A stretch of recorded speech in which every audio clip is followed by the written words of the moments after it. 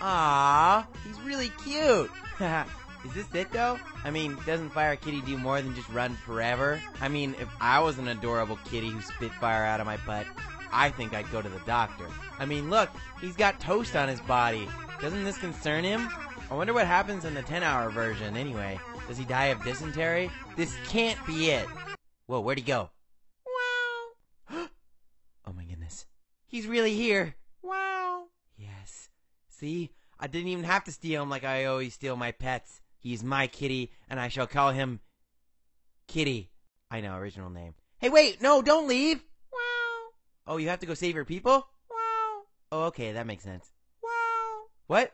I'm the coolest in the whole world? Wow. Wow, Fire Kitty, you're the coolest in the whole world. Wow. Bye, Fire Kitty, I love you. Be careful around propane tanks. Don't explode.